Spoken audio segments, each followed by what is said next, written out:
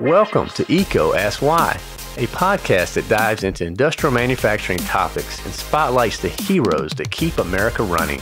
I'm your host, Chris Grainger, and on this podcast, we do not cover the latest features and benefits on products that come to market. Instead, we focus on advice and insight from the top minds of industry because people and ideas will be how America remains number one in manufacturing in the world. Welcome to EECO Ask Why. Today we're having a hero episode where we get to sit down with a good friend of mine, Mr. Brian Logan, who is the regional sales manager in Virginia. So welcome, Brian. Hey guys, morning. Hey man. Well, we normally call these hero episodes, but with you, man, I, I may have to change that up. I may have to actually call it a legend episode because you have been called out, bro, when it comes to being a mentor by some pretty influential people. So you're doing something right, brother. I, I, maybe I'm infamous more than famous, but I'll take it. I hear you, man. Well, look, bro, we we love to start these off by just giving our listeners a little bit of understanding of your personal journey to the role you're in. So, could you do that for us? Absolutely. Where does one start? I guess probably the best place for me is earlier on in, in, in my life. I think I realized that um, I always like to be challenged, no matter what it is. I always like to learn more, not just about what I'm doing, but about myself and try to become the best version of myself throughout my journey in, in this life. And probably started off my career in the, I would call it more of the service in the fire department realm. I spent a couple of years in the fire department. And while I was going to school, I realized that I wanted to shift from fire administration over to some kind of engineering. I, I grew up. My dad is a uh, electrician at the time. Um, retired, spent 30 plus years at uh, Fort Eustis in civil service. And I really loved what he did from a hands on service approach and troubleshooting uh, the facility and equipment at Fort Eustis. So I started school at Thomas Nelson in mechanical engineering, finished my associates, switched over to Old Dominion University, and went down the civil engineering uh, journey. At that time, I was fortunate enough to land a part time position at a company called Systems East Incorporated out of Hampton, Virginia, which is a systems integrator specializing in water wastewater. I started there part time uh, in the panel shop, sweeping the floors and learning how to build panels from the 10 to 12 guys that were in the panel shop. Spent about two or three years in the panel shop. Ended up moving into a junior CAD designer position. That led into a senior CAD designer position, into a junior project manager position, and then into a full blown project manager position while I was going to school. So I was always working full time and going to school part time at night in the in the afternoons. So that's really where my career my journey started from a engineering background and going to school part-time and going to work full-time. It definitely takes a whole lot longer to get your degree than you think it would. And i spent way too many hours at thomas nelson and odu uh, going to school. But I, I look at it now and i wouldn't change it for the world because I got a lot of real world experience very early on in life as it pertains to uh, engineering and automation and design and, and programming and startup and field service and building relationships with customers and people along my journey. And today I'm working for electrical equipment company. So, what were the different steps you took at EECO? Where you know where did you come in, and and how did that progress? So, I came in to EECO in the services business unit for Rockwell. I spent a few years, probably about three or so years there, selling most likely what we would call turnkey engineering projects. And I use the word selling, and I, I use that loosely. It was more of a consulting type of a role. Customers knew they needed to do something, they just didn't know what it was. And with my engineering and automation background, I hope that it led me to be able to be a a driver in what it is the customer would eventually try to get to as a end result or at least part of what something I was consulting in would be part of the solution that they would go into. So I, I did that for about three years. I then took a move into my career as a what we would all call a traditional outside salesperson or account manager and called on primarily i would say the food and beverage industry and power generation industry and a little bit of the OEM type of industry. So I did that for roughly three or so, four years. And um, ultimately, I'm in the position that I'm in now that I've been in for about four years as well as a regional sales manager uh, out of the Richmond area. Okay, so they kind of built upon each other. You, you had these different opportunities come up. I didn't realize, Brian, as, as much as we've worked together over the years, that you had that ODU. So it was a it was a civil uh, engineering is where you were there. Yeah, so I went into ODU took my my two plus two that Thomas Nelson and ODU have together. And it's funny when I say it out loud and I go two plus two because that was not how it worked for me. Again, I was going to school part time. So when you think about going to school full time, that's two years. Part time is four years. So I definitely have a lot of, of hours in travel associated with Thomas Nelson and ODU over the course of my journey. Well, that's really cool, though, man. And, and, hats off to you, you know, for getting that. And we're you definitely are a great influence on a lot of people here. You you lead a very uh, driven group of people, and we're you're in the front lines of a lot of different types of industry as well. What are you seeing, and what are you hearing? Some of those major challenges that industry is facing right now. I, I would say there's a handful of topics that come to mind but no matter what the topics are, I think one of the interesting things when you look at whether it's me or any of the guys that are on the Central Virginia team, I think one of the benefits that we get as a distributor is the ability to go into different facilities, whether it is a cookie maker or it is a maker of pharmaceutical goods or it is a maker of these other products that support our economy and our world and our, our, our, our functionality. We get to see a lot of the challenges that they face, and they're pretty much similar challenges, uh, depending upon whatever those topics are. And we get to see how people fix things and how they resolve those challenges. And then we get to take what I would say one customer's lessons learned and help other customers apply either that lesson or a very similar lesson, which really, I believe, puts us in the position of being more of a consultant type of a group than what somebody would say is a sales distribution operation group or company. Okay, well, very good. Well, I, am with you on some of those those items that you outlined, and Brian, we're trying to influence people, you know, and, and give them an idea of of what's behind the curtain, if you will, for some of these different roles and, a role like yours. What would be some advice you would offer up that that listener out there if they're considering to come to this industry?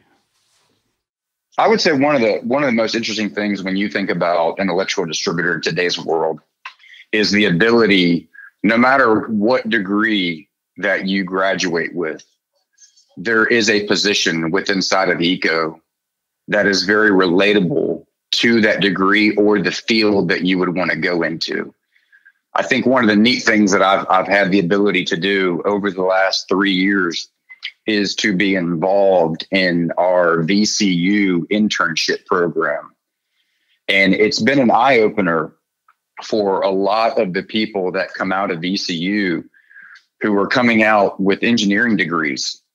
And, you know, when they're in school, they have this mindset of, I know exactly what I want to go do, or I think I know exactly what I want to go do. And it's really interesting to have them come on board with EECO and see all the various roles that we have, whether it is a inside sales or operations or logistics or an HR or a consultant or an engineer or an outside sales. There are so many different areas within inside of EECO that a that a that a student or somebody earlier in the career can come into it, it, I tell you, it's from looking at the last the last internships that came through. One of our interns, um, not this past year, but the year before, actually has a job with Rockwell Automation, going through their management program, and he was an engineer who, at the beginning, when he came into the internship, was going, "Hey, I really just want to be an engineer," but then he came and saw the the consultant side of the engineering and automation world. And, and I believe that's what helped him sort of uh, hone into what he wants to do next. That's awesome. So getting that exposure to that world perhaps guided him to a, a role that is better suited for what he's trying to achieve, man. That's that's a great, great story. So, Brian, you know, we also on these hero episodes love to give an opportunity for shout outs for people who have been mentors, influencers for you in your career. Who would they be? Man, everybody around me. I'll tell you, it's funny. I mean, and there's there's definitely a handful that that jump out at me. But when I think of everybody that I've worked with throughout my career in the, the last 20 ish years of being in engineering, automation industry, the one thing I think I tried to learn early in my career is there are skill sets that everybody has that are definitely strengths. And I believe when we all think about trying to become the best version of ourselves, we try to pull from everybody around us because we're all really good at something. So I've always tried to find the really, really awesome things inside of people and go, man, I want to be more like that guy. So everybody around me influences me. Uh, when I think about in my earlier days of my career at Systems East, there were a handful of engineers and even the owner, Buck McLaughlin of Systems East, the CEO, was absolutely uh, somebody who helped me throughout my career. He always helped challenge me. Uh, he always put me in uncomfortable positions to learn more. Um, my brother in law, Scott Wilkerson, another one, he's an engineer as well. He always helped push me and try to, you know, say, Brian's, you know, put yourself in those uncomfortable positions because that is where you're going to learn more. Very good, man. There were some great, great people, some great influences. And I love how you tied back that everybody influences you and you try to, to pull those things, those qualities out and you know put them into your own life man that that's very insightful and brian when i like to ask this question this way when do you find yourself in that moment of flow where it's just clicking and you're loving what you're doing man what what what are you doing in that moment i believe it really comes into being of service and i think that's one thing that i've always enjoyed no matter what part of my life or career that I've been in. And that is just of being of service and of value to anybody. And within EECO, you know, you've got the internal workings of a company. And when you're of service for that company and you're providing value, that's something that you can put your head down at night and feel really good about doing. It's the same thing with customers. When I can get engaged with a customer and be able to help them and provide value and service of a solution to them is really when I feel the most connected of, hey, I feel like I'm I'm I'm here doing what I should be doing. Very good, very good. I mean, it, that service is so important, man. I, I think that uh, when we, we get in those moments and you get that flow going, it's it's it brings so much joy. And now, Brian, to kind of maybe a little fun with this question, you know, a lot of times people think of sales and sales management. They have a, a perception. You know, a lot of times it flips to maybe a uh, you know a car dealerships, and you're dealing with that salesman. And he says, "Well, I need to go talk to the sales manager." So, if you had a chance right now to debunk, you know, something out there about that's perceived about the sales manager role, what would that be? You know what I would I would sit back too, and I think this is a, a, I love the question. It reminds me of a of a, uh, uh, a sales call. It's uh, that I went on many many years ago, early in my career.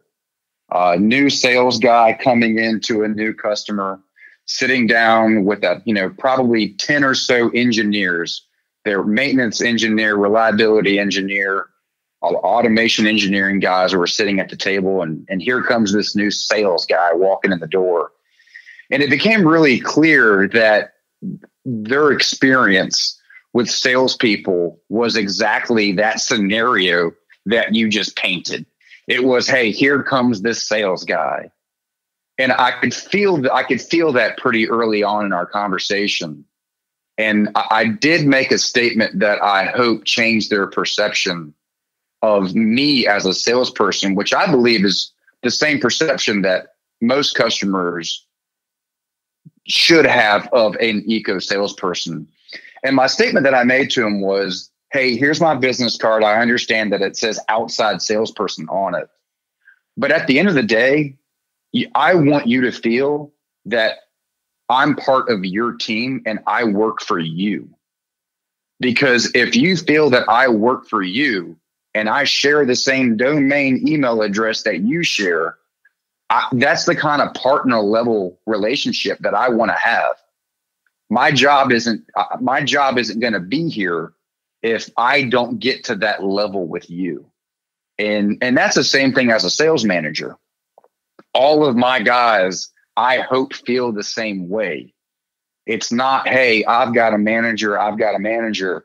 It's I've got a guy who's on my team who has as just as much interest as me achieving my goals as I would a customer achieving their goals.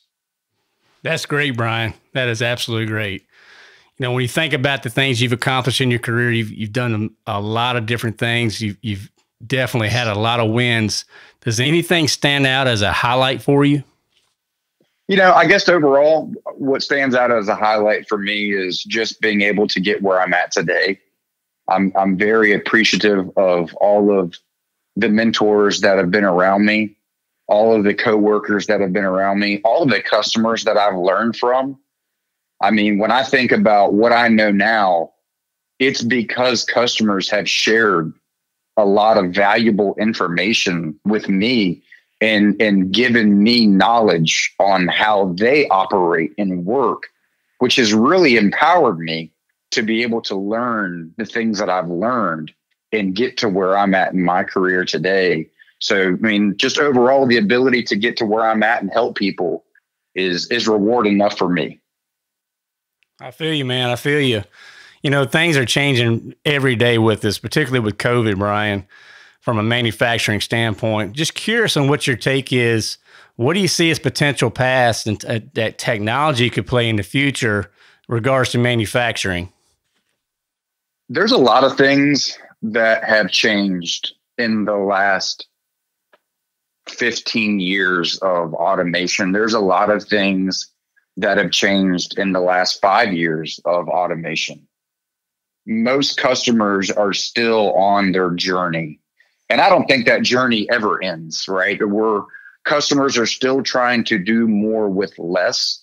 They're trying to be more productive. They're trying to be more efficient. Uh, they're trying to be more reliable. And technology is really the key to help them get to that place. And with how fast technology is evolving and changing, we have to also be thought leaders in that technology for our customers. So when you think about, you know, customers who are still on their journey, they're going through their smart manufacturing journey, their industry 4.0, their connected enterprise, all of those words mean different things to customers, but it's still all part of a journey. And the technology and the ability to integrate and deploy that technology as fast as possible is really the key for our customers. So when, when I try to think about a specific technology, probably the one that sticks out to me the most is just actionable information.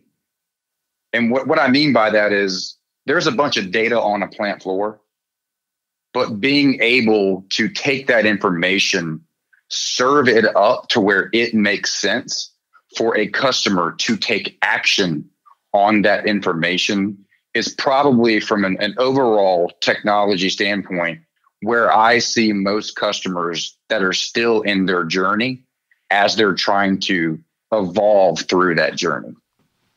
Very good. So thank you, Brian. I mean, that's it's definitely a changing world out there. COVID is making people think differently too about how they access information. And I really appreciate your insight.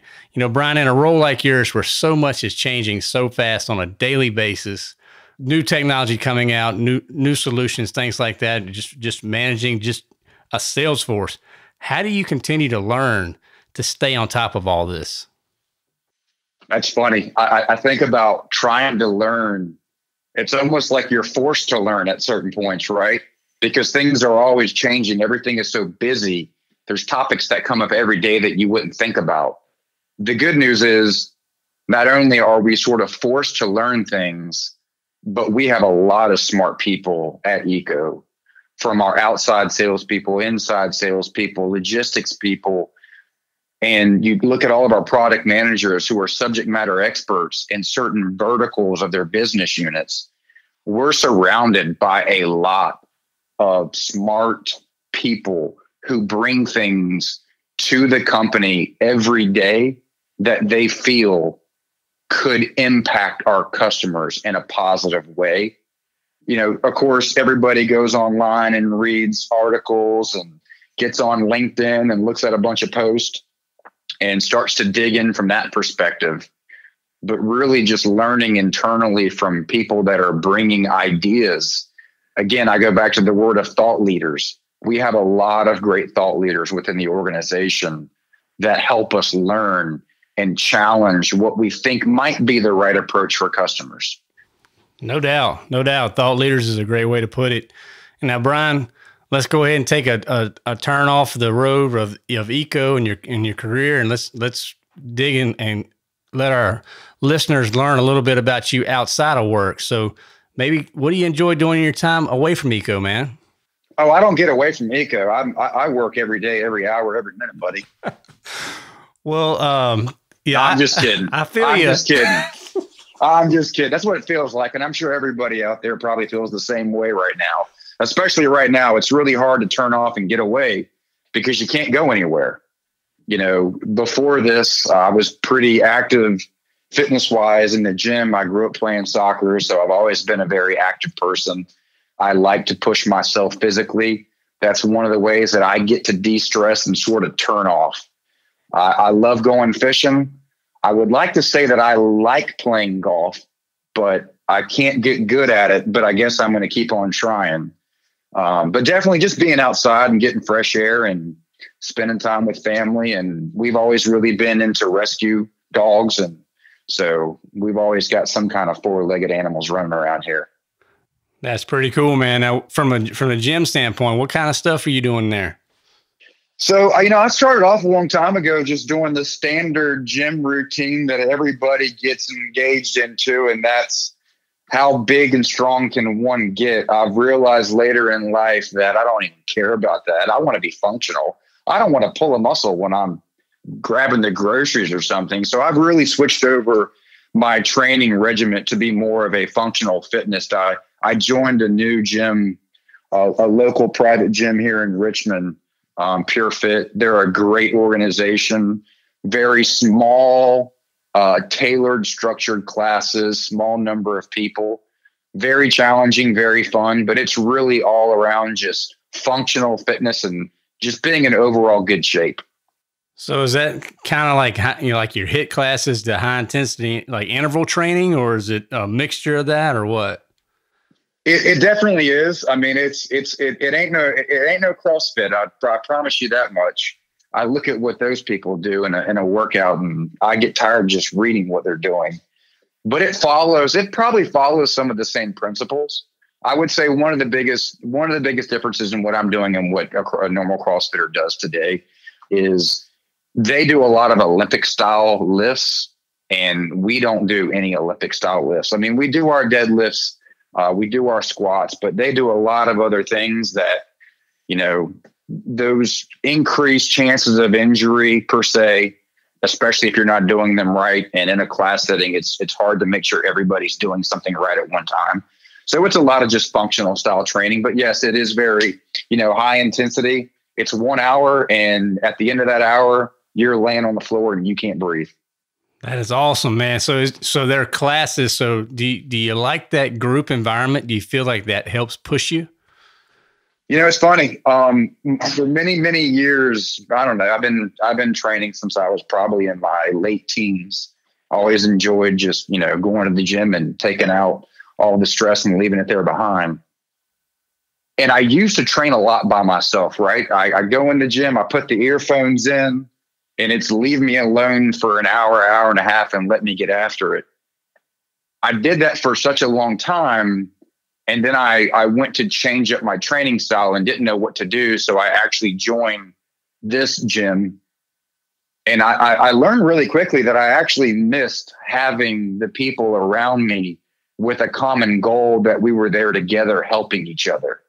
There are many days that I go into the gym and I'm not motivated. We're all in that same place. Life's hard enough, right? So sometimes when you try to be motivated every single day, it's really hard to get motivated. So to replace the motivation, you got to have discipline. And you're not always going to be motivated, but you got to be disciplined. So it's really nice to be able to go into the gym on the days that you're not motivated and you see your buddy and you guys are there to do something around the same time doing the same thing, it really does help when you got somebody there, you know, patting you on the back or smack, smacking you on the back saying, let's go. And, and hopefully there are days other people aren't motivated and I can be that person for them as well. No doubt, man. I mean, I know COVID's impacted so many people financially in, in different ways, but from for guys like you, I know me too. I, I missed that gym environment and being able to uh, you know, work with others and get pushed by others. It's, it's hard to do that, and uh, you know, on your own sometimes, particularly when you're used to that, right? I mean, it, it makes it a lot more difficult. Yeah, I. Uh, it's really funny. I don't know how I figured this out, but I bought a new pair of running shoes the week before the whole COVID word even came out because I told myself I'm going to try to run a little bit more this summer.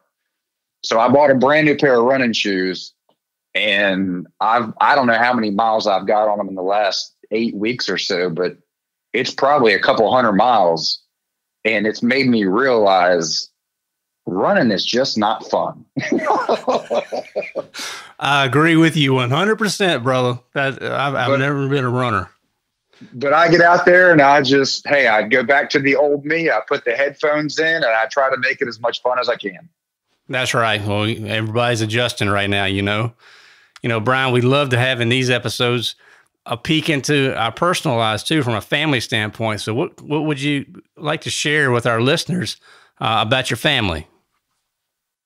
You know, it's uh, it's interesting when you think about if we're all at home, we're actually around our family more now than we ever have been, and that can be challenging and it can also be really, really rewarding. And the rewarding part is what I really like to focus on the most. And that is, I actually get to eat more meals and have more conversation because before this happened, it was just go, go, go. You know, the hustle and bustle of our days that turn into weeks, that turn into months. it's amazing the things that we've been able to actually accomplish because we have been sort of forced to be here. So now the weekends, for some weird reason, I don't know why, they feel longer and we get to spend more time and do more fun stuff with each other. That's awesome, man. I mean, you're right. It's it's definitely drawing us together. Uh, like it or not, we're together, right? so, you know, definitely, I, I, personally am enjoying, you know, just the opportunities that we've never had before. Because you're right, man. Life can go, it goes fast, and uh, this has forced a lot of people to slow down and and time at the dinner table and those conversations. Uh, you know, are, are definitely meaningful. So, you know, Brian, what are you curious about right now, man? What what what interests you? It could be within work or outside of work. I know everybody has different things that uh, peak up and they start studying. Just curious what uh, what that is on your list. I would say a lot of my interest right now, when I think about, is it's is coming out of what we're what we're all going through right now. Is what it what is going to happen next? And know a lot of customers are going to go back to, and we're going to go back to. These are the things that we have to do to get back to where we were in our in in our, each of our own individual business models. But I hope that we've also taken a little bit of this time to focus on the larger gaps and things that we didn't have time to do within our each of our own organizations.